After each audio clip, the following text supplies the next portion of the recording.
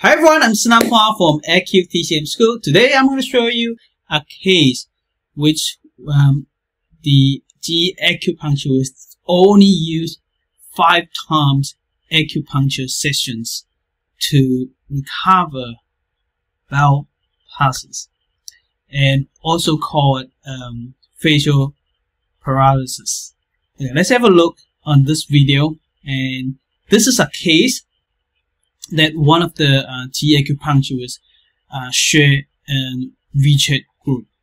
That uh, she said uh, only five treatment uh, using Yin Wei uh, diagnosis and acupuncture needle on the face to recover this case. Let's have a look before and after video, eh?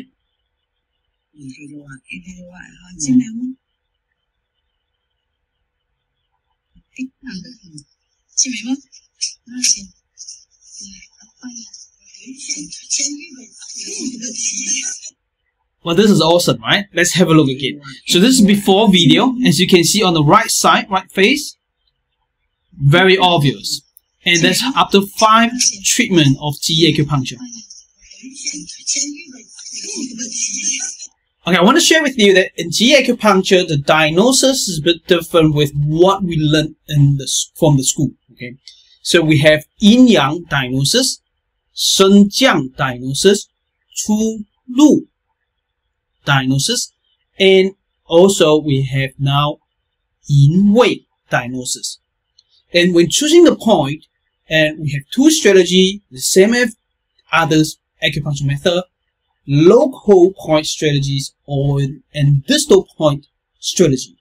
Well, in this case, you can see that Yin Wei diagnosis, using Yin Wei diagnosis of distal point uh, um, uh, acupuncture point strategy as well as some point on the face, which is local point strategy.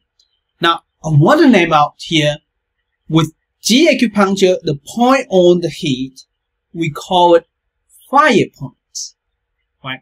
So you can learn free JiYi acupuncture video.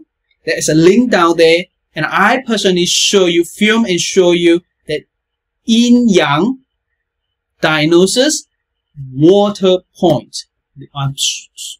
I have shown you four points in the training.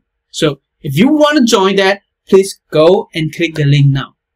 Now, previous, previous video, you've seen that I keep saying one thing that we have workshop in Malaysia. I want to tell you a good news is the workshop has closed now.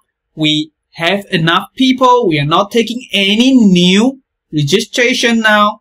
So thank you for your supporting if you have registered. All right, we have more than 100 people. Uh, I think it's about 180 people join this um, this this workshop right in Malaysia. And I'll see you next time. Bye.